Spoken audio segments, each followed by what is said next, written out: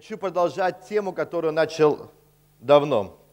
Вы можете быть уверены, что каждый раз, когда я буду выходить э, проповедовать на эту платформу, хочу, чтобы вы знали, я буду продолжать тему, которую мы начали э, э, вот, с осени, и эта тема «Лицом к лицу к Богу». Я буду искать всевозможные воз, способы, чтобы напомнить об этом каждому человеку. Как, как говорил Петр, для того я никогда не перестану напоминать вам о всем, хотя вы и знаете и утверждены настоящей истине. Хотя вы будете знать, что нужно будет встретиться лицом к лицу с Богом, что это важная тема этого года, но каждый раз, когда я буду на этой платформе здесь говорить, я буду напоминать о том, что это наша цель этого года, это тот, то состояние, что мы хотим пережить, эту встречу с Богом. Встреча с Богом – это похоже на игру э, в салки, да? На Укра... Западной Украине называют сало. Вчера пришел, э, позавчера пришел в еврейскую школу, захожу, меня как бы сказали, ну, проходите, пожалуйста, мне все вспомнили. Возле, возле класса вылетает малый какой-то, за ним второй догоняет рукой, бьет его по, по, по, э, по спине и кричит «Сало!» В еврейской школе. Понятно? Другими словами, на что похожа э, э, вот эта встреча с Богом? Я хочу сказать, что я не, никогда не находил человека, который бы искал Бога, прикоснулся к Нему, либо через чтение Торы, либо через молитву, либо через прославление, либо через служение к людям, и не было бы такого же ответа обратно, что, что Бог не прикоснулся. Я не встречал таких людей. Я встречал людей, которые прикасались к Богу, и Бог прикасался к ним обратно. Это всегда было. Ищущим Его Он воздает. Тема и поиска Бога лицом к лицу им, им заключается в том, чтобы найти Бога, и Он к тебе прикоснется обратно. Услышьте меня, пожалуйста. Я хочу это ну, как бы вложить в состояние каждого человека, что ищущим Бога Он воздает – он хочет, чтобы мы, каждый из нас, пережили Его, и Он прикоснулся к нам обратно. В этот момент, когда Он прикасается к тебе, во-первых, происходит встреча. Встреча с Богом. В тот момент, когда Бог прикасается к тебе, происходит эта встреча. Во-вторых, происходит еще разговор, обещание. Вот и обещание. Хочу, чтобы вы сегодня были очень внимательны, потому что тема моей проповеди – зачем Бог дает обещания. Не почему Бог дает обещания, не как бы сказать по-другому, не, не то, что мы знаем, что Бог дает обещания, никому Он а, э, это дает, ни каким образом Он их, э, э, эти обещания дает. И даже не какому человеку, каким ты должен быть, а наоборот, зачем или почему Бог дает обещания. И вы, когда-нибудь задумались над этим? Не, не, не какие обещания Бог дает, каким людям, при каких обстоятельствах, при каких, э, может быть, ситуациях, а зачем Богу нужно давать тебе обещания? Или обетование, слово другое мы подбираем, обетование. Библейское слово. Зачем Богу нужно обещание? Одно дело, дорогие друзья, знать человека и что он, он делает на производстве. Совсем другое ощущение, когда ты знаешь человека да, от, с другой стороны, где о, ты знаешь, что он делает то, что он делает, и почему он делает то, что он делает. Совсем другое состояние. Можно знать людей, что они хорошо делают работу. Ты знаешь, что они делают работу. Но знать людей, почему они это делают, становится намного интереснее. Сегодня вопрос не, не э, стоит в, э, у верующих, что дает ли Бог обещание, исполняет ли Он обещание, и не стоит даже. И, но никто не задумается, причина, почему Бог дает это обещание, обетование. Написано Псалом 102, 7 стих. Он показал пути Моисе, э, свои Моисею, сынам Израилевых дела свои. Многие, вот это как бы сопоставляется с тем, что я говорю. Многие видят дела, видят, А почему? Вот Моисею он показал путь, почему он это делает. А и остальному народу он просто явил свои дела. Это важно, потому что это заставит нас по-новому посмотреть на обещания, которые Бог дает. Мое, мое желание смотивировать вас не просто знать о Божьих обетованиях, а слышать и смотивировать вас тому, чтобы стремиться к этим обетованиям и чтобы они исполнились в вашей жизни. Я надеюсь, что с, с, этой, с этой проповедью у вас обновится понимание Божьего представления о Боге, который дает обещание и которое его исполняет. Хотя есть поговорка, обещанного три года ждут, да? Но на самом деле Бог хочет дать обещание каждому человеку. И если это обещание ведет меня к исполнению, тогда я заинтересован быть в том Боге, который дает это обещание. Понимаете, нет? Если у меня есть Бог, который дает обещание, и оно мотивирует меня двигаться, тогда я имею огромнейшее желание исполнить Его волю. В этом есть сущность. Мы рассмотрим с вами э, второе послание к Коринфянам, где э, в сущности, первая, э, первая глава, там идет прямо с самого начала, где в сущности Павел пишет, Рав Шаул пишет, как бы оправдательное письмо, как бы такое апологетическое, такое, пытаясь оправдаться в своем деле. В то время его уже обвиняли в том другие люди, которые пришли в Коринф и э, те, кто законники, те, кто э, говорили всякое э, о Павле, и одну часть, которую они ухватили, о том, что, э, как бы повлиять на, на Ковинскую церковь, это о том, что Павел лжец. Если он не исполняет своих обещаний, которые он делал, другими словами, он лжец. Посмотрите, даже основываясь на первом послании, 1 Коринфянам 4 глава 19 стих. «Но я скоро приду к вам, если угодно будет Господу, и испытаю не слова э, э, возгордившихся, а силу.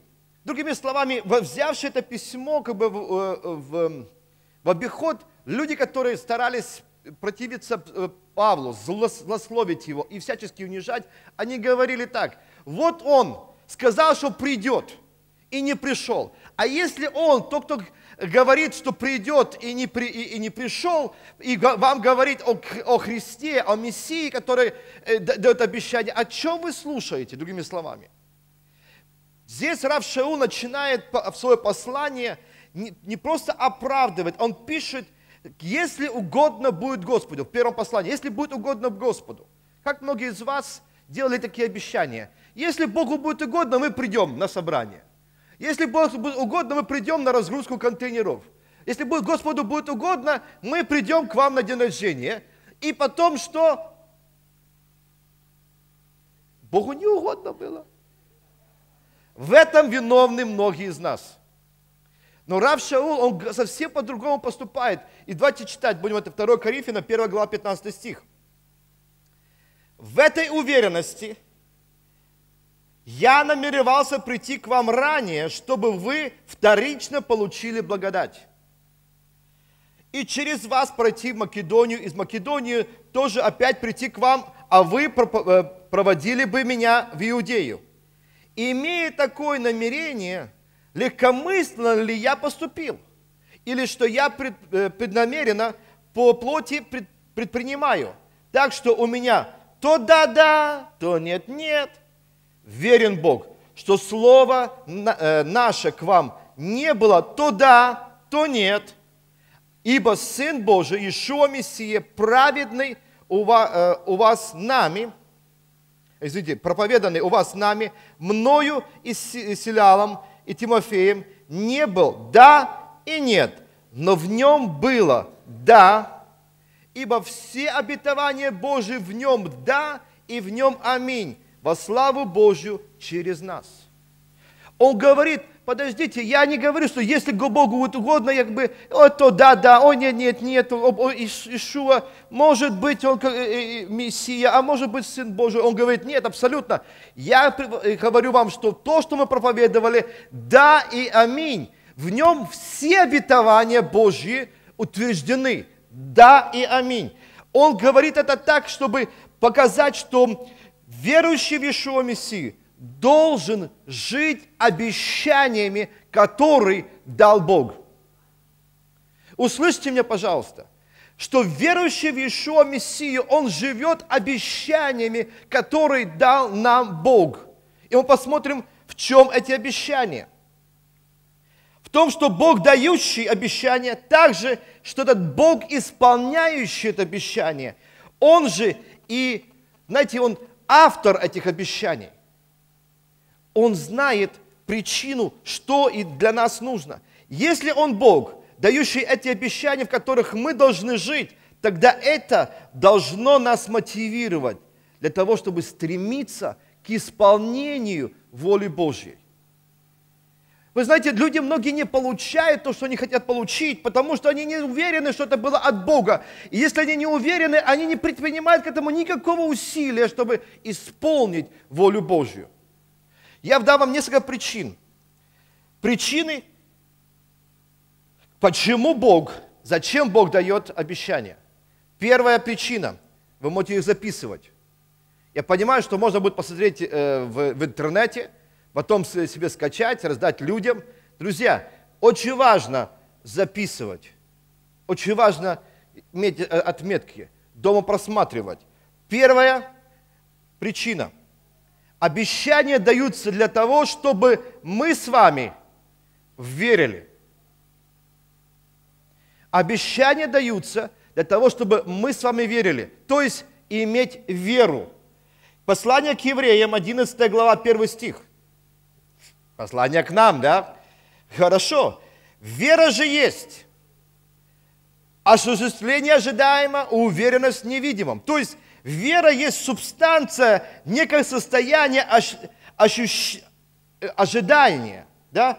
ощущение ожидаемого. Другими словами, вера – это осуществление, вера – это также уверенность. Вера – это есть, да, если она, это, это часть. Но вопрос, откуда вера приходит –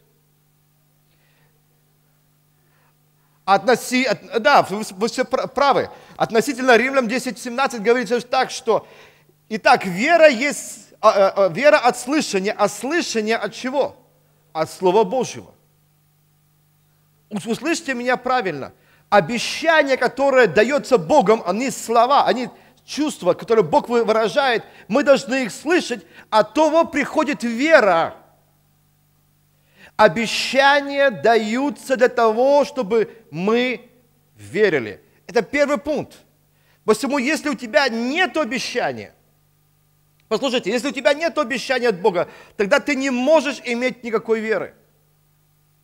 Не на что верить, не на что уповать, не за что. Как только мы, мы ты и я получаем Слово от Бога, ты приобретаешь веру в невидимое.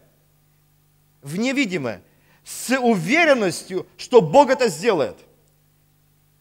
Как это можно э, сделать, какую иллюстрацию можно привести? Я думал, думал долго, и потом вспомнил. У нас же братья есть много строителей, и часто э, меня приглашают на наши э, всевозможные выставки, которые проходят на морвокзале. Я там был, и вы часто видите эти большие бигборды э, на, на улицах, называется «Канадский дом».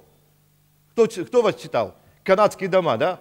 Когда ты смотришь эти канадские дома, понимаешь, что это конструктор, который э, как бы может сложить быстро, очень эффективно, и ты можешь войти в свой э, как бы, дом своей мечты э, за менее как бы, короткий срок и за не, такой, не настолько как бы, по карману тебя будет бить. Да? Очень быстро. Можно быстро это, это, это сделать. Но э, за границей еще есть такое выражение, как мобильный э, э, дом. То есть э, дом, который еще проще. Его собирают очень быстро, очень скоро, но украинцам это очень понравилось на их дачах, на э, домик для отдыха. Реально, это, это очень быстро. На что-то похоже. Это похоже на вагончик на самом деле. На вагончик, который, э, э, э, в нем все есть, люкс, да, это как дача. Вот для, для украинского народа это было довольно э, прия, приятная вещь э, иметь на, дачном участке. Но смотрите, э, когда многие американцы этим пользуются, потому что это очень удобно и дешево. Что происходит? Как собираются эти дома? Вы, э, к, э, к месту, где уже расчищена площадка, выезжает группа э, э, работников из 80 человек. К этому времени, когда они там находятся, уже подготовленная площадка, туда подъезжает фура, э, может, две-три фуры с палетами, где находится э, уже как бы э, дом, да, они разгружают это перед вами и уезжают. Поэтому можно сказать так, что эм, вам привезли, разгрузили на палетах дом и уехали. Так вот, этот дом, который перед вами, становится субстанцией ожидаемой и уверенность невидимым. Слышите, нет? Вот эти э, вот палеты стоят, они один, второй, там три, три фуры разгрузились. Вот перед вами поставили ваше ожидаемое в невидимом, аж вот этот. Вот понимаете, нет? Другими словами, у вас есть ожидание, что вам дом этот соберут. Вот в этих палетах там все. В этом, если я говорю все, от начала до конца. Вот только нужно специалисты, нужно смекалку, терпение, иногда долго терпение, а у некоторых терпение пророков должно вырабатываться, чтобы этот дом собрали, собрать. И перед вами будет этот дом, но он сейчас на палетах. Вот то, что перед вами, это ваш дом. Вы скажете, это мой дом, да. Это твой дом, который как бы с ожиданием и уверенность невидимым, что это будет твой дом. Но пока он на, на палетах, это, это, это, это вера. Вы слышите? Вот то, что вам привезли, это вера. Его же собрать еще, правильно, до кучи. Что нужно еще применить какие-то усилия, нужно что-то сделать, нужно как бы думать о том, что ты будешь делать. Это вера, вам привезли. Но фуры или же те машины, которые вам это привезли, оно и есть обещание. Уловили, нет? Вот этот пример небольшой, хотя, может, он как бы такой Э, жесткий такой, но он, понимаю, для меня это очень пря, прямо понятно, что ищу, я мечтаю о доме, который мне привезли в палетах, мне нужно к этому приложить усилия, его собрать, и кто его привез, это и называется обещание. А, называется обетование. Все, что я хочу сегодня говорить о том, что без обещания нету веры. Если у тебя, не, у тебя нет обещания, у тебя не будет веры. Евреям 11.6 говорит, а без веры угодить Богу невозможно, ибо на, надобно, чтобы приходящий Богу веровал, что Он есть, и ищущим Его, что Он воздает чем? Обещанием, которое Он уже приготовил для тебя. Он дает это обещание. Вопрос стоит в том, что Бог, разве Бог не хочет, чтобы мы веровали? Конечно. Мы, он хочет, чтобы мы были способны Ему угодить. Он хочет, чтобы мы угодили Богу, но Богу без веры угодить невозможно. Даже то, что у тебя есть этот разложенный на палетах дом, тебе нужна вера в то, что еще ты не видишь, но ты нужно собрать его. Многие хотят, чтобы все было готово на блюдечке, с неба падало. Друзья, у земли есть э, притяжение, и все, что падает на нее, все, что делает, разбивается. Понятненько, нет? Что нужно, Бог придает его, тебе дает и для того, чтобы ты, имея основание в вере, видел то, что Бог хочет тебе представить. Эмоци- эмоциональные желания, которые многие люди имеют, не являются верой. Эмоциональные желания. Послушайте внимательно, о чем я говорю. Многие люди попадают в это обольщение в том, что я увидел, я увидел рекламу, я увидел моего соседа, я увидел нашего, наших верующих, там группы людей, что-то особенное. И вот это желание иметь не является верой. Нарисовать себе картинку в голове, что там что-то вот Бог меня же любит, и я хочу вот это. Друзья, именно момент обещания, это не просто чувствование, это не просто э, как бы картинка, это вера во что-то другое. Вера, когда Бог тебе непосредственно говорит, и ты полностью уверен, что то, что Бог обещает, не, не, не имеет мотивации, алчности или же внутреннего знаете, вот, желания поиметь. А ты полностью э, уверен, то то, что Он обещает, только Он может исполнить. А тебе нужно иметь терпение. Вторая причина, зачем Бог дает обещание, эта причина очень проста. Для того, чтобы нас направить правильным направлением. Чтобы нас направить правильным путем, то есть дать нам путь. Вторая причина, по которой Бог дает обещание, обетование, это дать нам правильное направление. Сразу приступлю к местам Писания, чтобы мы меньше были э, ну, разговоров. Самый реальный стих, который каждый из вас помнит наизусть. Иногда так, эти стихи пишутся на, на, на, э, в брошюрах, в Библиях, везде, даже, э, как бы сказать, на бербодах я встречал. Иоанна 3,16. Давайте все вместе скажем. Ибо так возлюбил Бог мир, что отдал Сына Своего Единородного, дабы каждый, всякий да, человек, кто уверует в Него, не погиб, но имел что? Где здесь э, обещание? Жизнь вечная, обещание. А что, э, э, чтобы получить эту жизнь вечную, что нужно сделать? Как просто. Есть обещание, и это обещание поворачивает тебя на путь, который, чтобы ты исполнил это обещание. Как просто. Это очень интересно, потому что это обещание Богом дано для нас. Еще Луки, 6 э, глава, 35 стих. Но вы любите врагов ваших, благотворите и взаймы давайте. Не ожидая ничего, будет вам награда великая, и будете сынами Всевышнего. Ибо Он благ к кому? Неблагодарным и злым. Ой, секундочку. Здесь есть какое-то особенное обетование, обещание – в чем в этом стихе заключается обещание? В чем обещание здесь?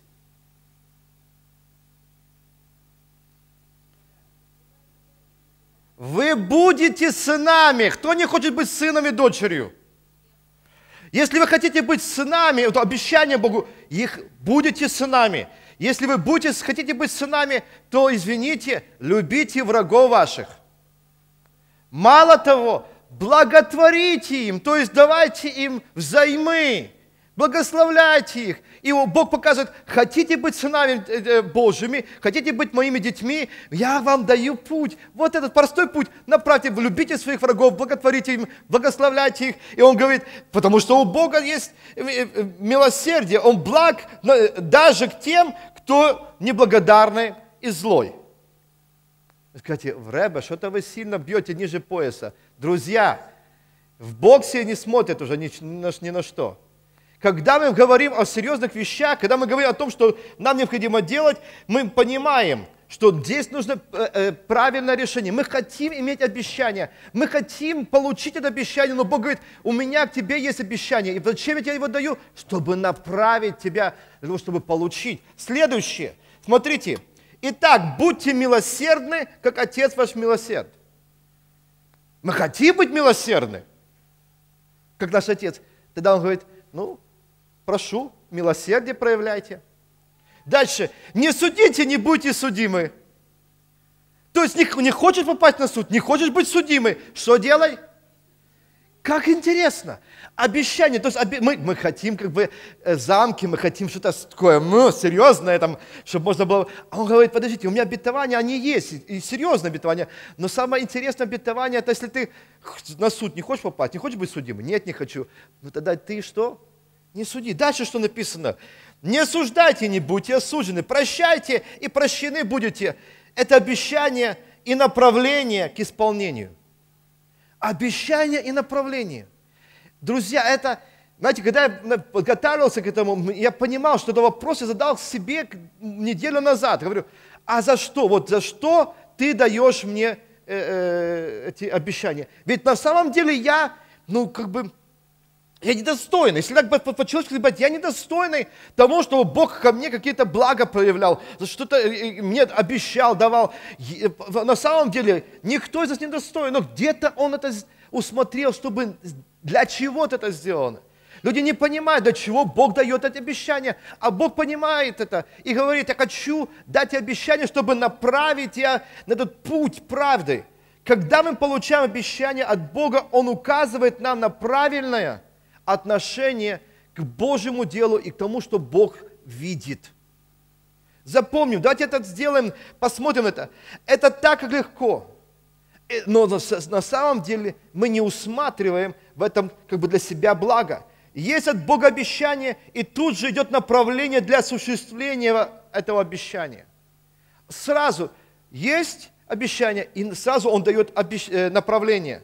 Вы можете мне сказать, подожди, подожди, но ведь э, вот мы же должны как бы быть духовными. А если мне Бог вот так сказал прямо сейчас что-то сделать? Слушайте, я за то, я, мы должны быть духовными, мы должны быть спонтанны на всякое доброе дело, быть, э, э, э, ну, как бы, чувствовать Дух Святой, направляться Духом Святым. Я вам просто хочу сказать, что Бог смотрит на дальние, на дальние планы – он видит дальше, чем мы видим. Мы похожи э, э, как бы, на людей, которые хотим решить вопрос прямо сейчас, и мы должны их решать. Я с вами вполне согласен, что мы, как э, духовные люди, должны мгновенно иметь этот контакт с Богом и сразу отвечать на те вопросы, которые у нас стоят. Но я также хочу сказать, что Бог заинтересован, заинтересован в дальновидности твоего благополучия – он заинтересован в твоем благополучии. Но дальневидность его намного дальше, чем это наш, наша. Чем наша. Эм, мы можем двигаться по жизни различными указаниями, всякими, знаете, направлениями. Там где-то мы увидели рука направо показала. Мы там раз, Господи, все, я пошел направо. Проблема есть. Ох, я решил, быстренько все это сделал. Там кто-то по телефону сказал, опа, это откровение от Бога, нужно пойти туда. Мы можем это решить. Но на самом деле, в данном случае, если мы не будем иметь долго, долгую перспективу того, что Бог нам сказал, кто мы и что мы, и для чего Он это делает, мы будем похожи на тех евреев, которые были направляемы Богом, управляемы Богом в, в пустыне. Но они блуждали там 40 лет. Бог за ними смотрел. Он их и направлял. Но блуждали они там сто, сколько? 40 лет. Есть свои причины этому. И Бог хочет дать нам ежедневную поддержку и направление. Каждый день. Бог не хочет твоей неопределенности. Он хочет, чтобы ты, получив обетование от, от Него, держался его. Держался и делал все необходимое, чтобы исполнить и прийти к этой цели. Цели в Боге. Помните, я вам однажды рассказывал историю моей поездки в Германию с э, еврейская бабушка Ида Борисовна, помните, да? как она сильно ругалась на навигатор. И она ему говорила, приказывала ему, она его э, э, как бы там чуть ли как бы таким еврейским жестким словом э, э при, причитала. Все, она, э, она, я понимаю, я понимаю ее, потому что этот навигатор тебе еще женским голосом отвечает, она к нему, э, куда ты завел нас, Сусанин и все остальное. То есть, и, и я понимаю, что этот, этот, этот навигатор на самом деле был, как бы сказать, э, ну, как говорят еще, э, демонизированным. Другими словами, он лгал. Он не, мало того, что он не, не, не, нас приводил не на те улицы, на украинских дорогах, даже в Польше или же в Германии он нас приводил в тупик. То есть в нем был дух лжи. Как его не выгоняли, так бы, как бы Ира Борисовна на него не кричала, не помогала. Причина в том, что это, э, э, этот э, навигатор, ему нужно было задавать параметры. Навигатор штука хорошая. Кто пользуется братья в основном, трое, четверо. Навигатор хорошая штука. Она, она, она показывает, помогает, направляет, что нужно делать. Но она абсолютно, этот навигатор абсолютно бессмысленный. Не имеет никакого э, смысла иметь, иметь его, если ему не задать параметры, куда тебе нужно доехать. Даже если я буду послушным этому навигатору, налево пойду, направо, остановлюсь, где он скажет. Если даже скажет там перейти, я буду чувствовать, что нужно повернуть сюда или сюда. Но если там нету цели, к которым идти, он нас никуда не заведет. У Бога есть цель, когда Он дает обещание, у Него есть цель. Третья причина – Почему Бог дает обещание? Потому что в обещании Он демонстрирует свою верность. В обещании Он дает свою э, верность. Я хочу вернуться еще к этому второму положению, что как, есть направление. Помните Малахии? Многие это, любят это, это место Писания, хотят, люди хотят быть богатыми, очень богатыми и никто не хочет быть очень бедным. Малахий очень просто говорит, если ты хочешь, чтобы я открыл тебе небесные врата, то есть открыл тебе э, небесные благословения, он говорит, я хочу, то есть есть цель, есть обещание, что я изолью из, с преизбытком на тебя. Говорит, тогда у тебя есть путь, как это сделать. Принеси ваши десятины даяния в Дом Божий. Это тоже есть Божье обещание. Если мы хотим испытать его, Бога. Я не хочу, чтобы вы были как бы, э, ну, просто вот направо, налево, как бы хотим быть очень богатым. Суть-то в чем, чтобы мы исполнили благословение. Благословение не только в деньгах заключается. Я встречал много людей, которые богаты, наезжают на очень э, шикарных машинах, на яхтах, и у них жизнь абсолютно не имеет никакого смысла. Услышьте. Третье, я говорю о том, что Бог демонстрирует свою верность. Через обещание, через обетование Бог э, демонстрирует свою верность. Исайя 49, 23. Здесь идет очень моменты такие, что правильно услышите меня. Здесь говорится так, и будут цари питателями твоими, царицы их кормилицами твоими. Лицом до земли будут кланяться тебе, лизать прах ног твоих, и узнаешь, что я Господь, что надеющийся на меня не постыдится. Следующее, Иезекииля 20:38. И выделю, выделю из вас мятежников и э, непокорных мне, и из земли не, Э, пребывания их выведу их, но в землю Израилеву они не войдут, и узнаете, что я Господь. Захария 4, 8 э, и 9 стих. «И было ко мне слово Господне, руки Заваравеля э, положили основание дому сему, его руки и закончат его, и узнаешь, что Господь Савова послал меня к вам». Другими словами, эти места Писания говорят о том, что Бог желает дать нам обещание – высказать его, чтобы все понимали, мы понимали. И когда это обещание исполнится, тогда мы скажем, это сделал Господь.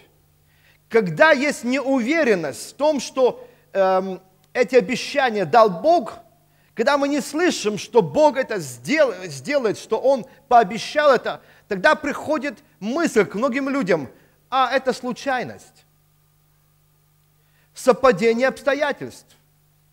А может быть, это не Бог, это может еще другие боги, которые еще есть.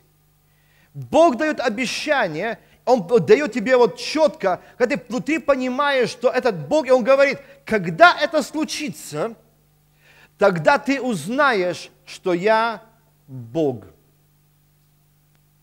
В моей жизни было не, одна, не однажды, когда Господь говорил о будущих вещах, которые произойдут в моей жизни, и когда это совершалось, все, что я мог сделать, сказать, сказать это только Он. Он сказал, и Он исполнит, поэтому вся слава не будет Кришной, там, всем остальным богам, а все идет к Богу, потому что Он сказал.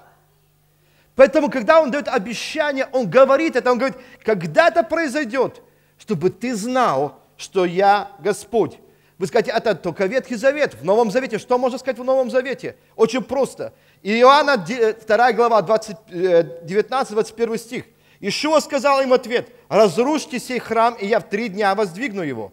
На это сказали иудеи, сей храм строился 46 лет, а ты в три дня воздвигнешь его? А он говорил о храме тела своего. Когда же воскрес он из мертвых, то ученики его вспомнили, что он говорил это, и поверили Писанию и Слову, которое сказал Иешуа.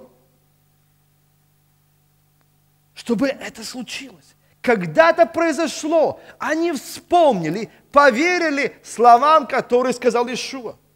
Дальше здесь э, тоже описывается Иоанна 13 глава 19 стих. «Теперь сказываю вам, прежде нежели то сбылось, дабы вы, когда сбудется, вы поверили, что это и я».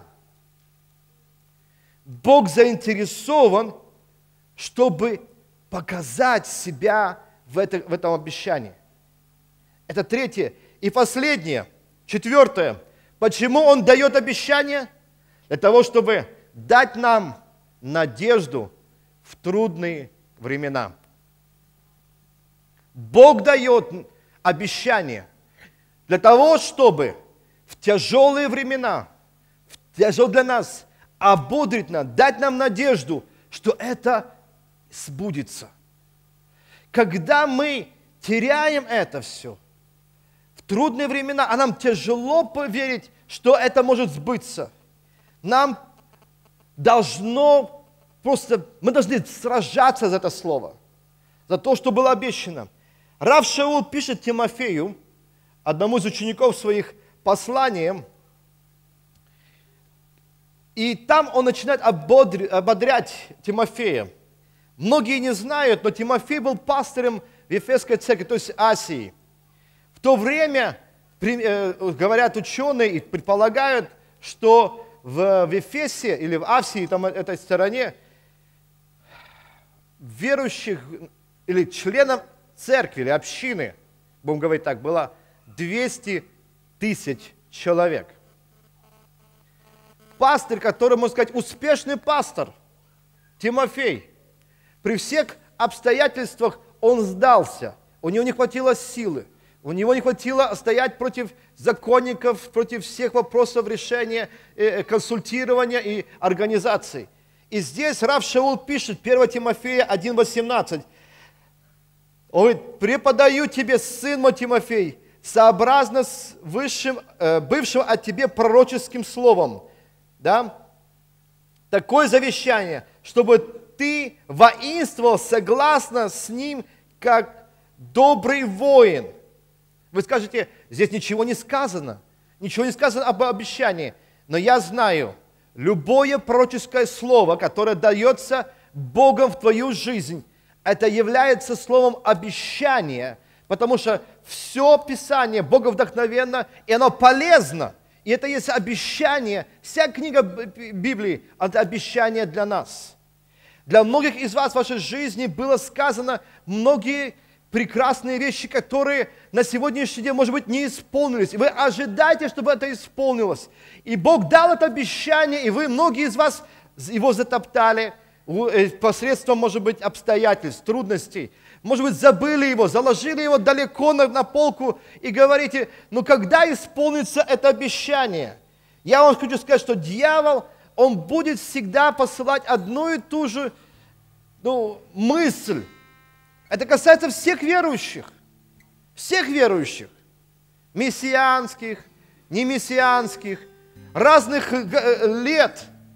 Это обещание, это, это, это слово, которое дел, дает дьявол, это слово разочарования. Он повнушает тебе, а где же обещание, которое дал тебе Бог? Ты столько их получил, столько было пророчеств, столько было сказано в твою жизнь. А где они? Где эти обещания? Где они? И каждый человек – подвергается этому нападению, как и Тимофей. Пророческое слово, которое было сказано в жизнь Тимофея, в жизнь вашу, это слово обещания, которое Бог хочет, чтобы вы утвердились в нем и жили им. Петр говорит в втором послании, 3 главе, 3 стих. Прежде всего знайте, что последние дни явятся наглые ругатели, поступающие по собственным похотям. Говорящие, где обетование? Где обетование? Как оно в твоей жизни исполнилось? И многие опускают руки. Опускают, потому что каждое обетование нужно ожидать. Каждое обетование не приходит в микроволновке, упаковке авиапочтой. Каждое обетование, оно показывает путь, как его приобрести. Каждое обетование дает надежду, что Бог это исполнит. Каждое обетование, которое Бог дал в твою жизнь, оно приносит свой плод – и за это Рав Шаул говорит, Тимофей, то слово, которое было сказано пророчески о тебе, в твою жизнь, за него нужно бороться, как добрый воин Господа. Это означает, что слово, которое у тебя есть, слово от Бога, являющееся мечом обоюдоострым – оно дано тебе, чтобы воинствовать не против просто э, направо-налево, а снивергать те злые э, слова, то, то, те мысли, которые навязчивые говорят, а где оно? Оно же не исполнится. А где же оно произойдет? Когда оно произойдет? Услышьте это слово от меня сегодня. Услышьте, что я хочу вам сказать. И Писание говорит, что все обетования в нем, да и аминь. Задайте себе вопрос, зачем Он дал вам обещание, которое вы имеете? Что это обещание сделало вас? Подвело, направило ли это обещание вас в то русло, чтобы исполнить его? Направилось.